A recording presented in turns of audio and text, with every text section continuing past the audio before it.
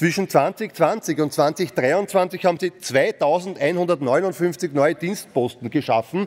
Also ich weiß gar nicht, ob die paar Klimakleber so viele Leute zusammenstehen und ob der CV überhaupt noch so viele Leute hat, die man da überall alle hinsetzen kann. Das weiß ich nicht. Aber sie haben Jobs, Jobs, Jobs erschaffen, nur für Leute, die ihnen offensichtlich nahestehen. Und das Ganze geht weiter. Von 2024 bis 2027 äh, gibt es noch einmal 1853 Jobs zusätzlich dazu. Sie sichern jetzt schon ihren Abgang und ein paar von den Abgeordneten, so wie der Herr Prost dann in weiterer Folge und so, die werden wir dann wieder finden. Weil im Parlament werden sie dann nicht mehr sitzen, die werden dann wieder in irgendwelchen Ministerien aufschlagen. Das Bundeskanzleramt hat neun Abteilungsleiter und drei Gruppenleiter zusätzlich erfunden. 1,7 Millionen Euro zusätzliche Kosten, die hier erwachsen worden sind. Da gibt es Gagen bis zu 9000 Euro brutto. Da werden wir auch wieder den einen oder anderen Abgeordneten von der ÖVP finden, der dann irgendwo versorgt werden muss.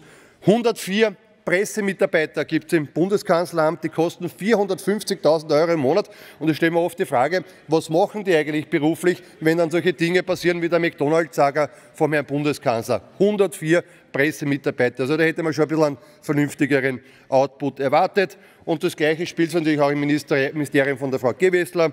Dort gibt es alleine über den Sommer 25 neue Posten, insgesamt sind es heuer 40 neue Posten und die Umfärberei wird natürlich in erster Linie vom Vizekanzler Kogler möglich gemacht, denn in seinem Ministerium werden diese Planposten dann auch fest, äh, äh, freigegeben und, und äh, da wird das auch alles ermöglicht.